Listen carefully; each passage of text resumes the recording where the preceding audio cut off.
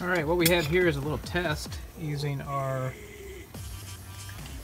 backpacking cook pots I can't tell if fire's and still- alcohol no, stove, fancy feast stove, Fire's still going. and working on a cake. Mine looks way better than yours. So,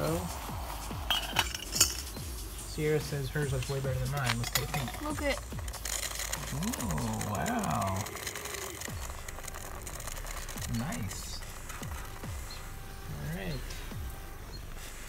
So here's the finished product.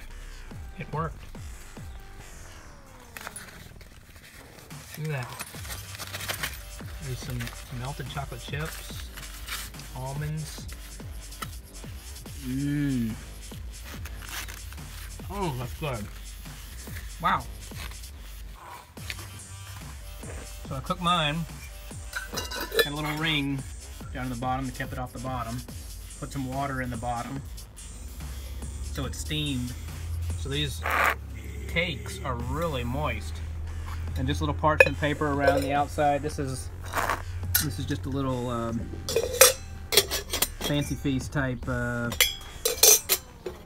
can that was cleaned out and put parchment paper down the bottom and parchment paper around the outsides and then pour the mix in.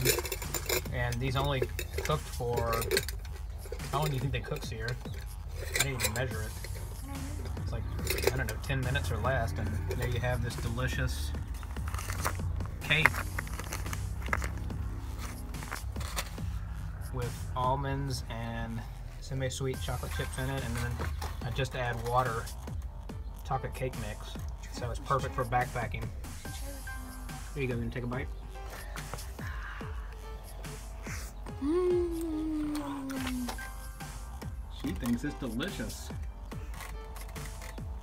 Nice. It worked.